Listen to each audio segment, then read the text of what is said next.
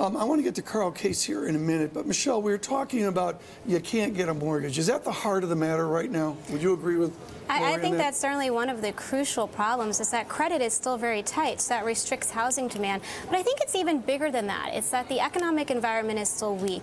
Unemployment is high, income growth is low, and job insecurity is high. Mm -hmm. So people are hesitant to enter the housing market right now. Yeah, well, let's talk about Karl Case. Earlier this morning, as he often does on Bloomberg Surveillance, uh, the professor emeritus of Wellesley, Karl Case, uh, joined us, and we spoke about his index. I asked him, uh, again, of the mortgage being the critical constraint in the housing market? Well, it's certainly preventing people from going out and buying what is really an affordable package out there right now. If you look at interest rates and you do qualify, and you look at net imputed rent as the basic income, that is the, the services you get from living in the house, incredible amount of subsidy flowing, and it's very cheap to buy houses in these areas where prices have fallen in some cities 56, 60%. But they're not out buying at the low end of the distribution because they can't get credit.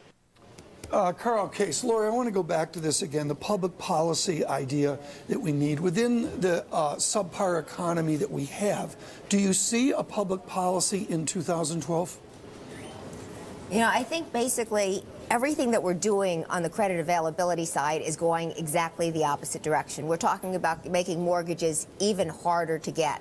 Where, you know, Dodd-Frank requires us to um, talk about risk retention um, for mortgages that are what they deem to be too risky, which is um, um, which is under exactly what that means is under consideration, but chances are that will credit uh, will tighten credit availability standards even, even further, further, As is, you know, what is the definition of a qualified mortgage, which is also required under Dodd Frank. Do you agree in a negative six percent further decline in housing prices? I think uh, probably a little bit weaker. Our baseline view is an eight percent drop, but little bit. It's, okay. it's comparable. Chart here. No, this is the this is the human factor, folks. Here's U.S. construction employment from OECD, and you can see the trend there going back to 1965. That's a well-established trend and we go just off a cliff and then flatline. I want to ask both of you the question, it's the unspeakable question.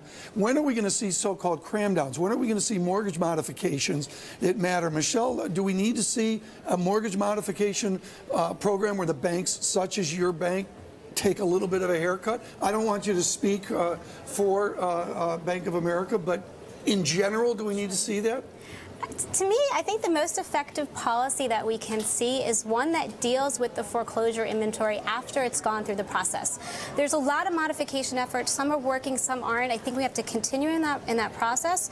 But it's also very important to deal with the liquidations. There's a lot of homes in the shadows, and an efficient process to clear those homes could really be a win-win for the market. Do you agree on this, Lori, or do you take a more strident stand? The bank's got to play ball here and say take a, a mark down and get an equity kicker on the backside? Um, I think you've actually got to do both. Um, you've got to deal with the shadow inventory that's out there. That is the borrowers that are so delinquent they can't be saved at this point. The borrowers that are already already out of their home. But you've also got a lot of borrowers who are defaulting who can be saved, and for them you need meaningful modifications. And we're actually fortunately beginning to see more of that. But it's still a very very slow process and largely voluntary. What is different now from the time of William Isaac, where they solved the problem, it appeared quickly relative to this, this tragedy that we're going through. You know, I think we've had years of just kick the can down the road public mm -hmm. policy, and we've got to actually own up and begin to solve the problem. Chart here, we show this a lot. This is population adjusted new home sales and there's a trend going back to 1960 or so, and you can see the surge above, way above two standard deviations. The red line is a center tendency. And then, Michelle, off the cliff, you've been way out in front in market economics on this. Is there any glimmer in new home sales? Um, yes, there's a glimmer. I just don't think it's going to be realized next year. The, the challenge with new home sales is that builders are competing with a lot of the property, the existing properties that are selling at a deep discount. So I actually think housing demand could pick up next year, but most of the demand will be for the distressed properties that are selling at a discount rather than for new construction homes. Do, do you, should you look at two parts of the housing economy, Lori? Do you, do you, look at the distressed part and then a good part, or do you bundle them all together? I think, you know, there's such heavy substitution that you've got to bundle it you together. Bundle together. And, yeah. and by the way, the longer new home sales, sales remains at very, very low levels, the quicker this problem clears.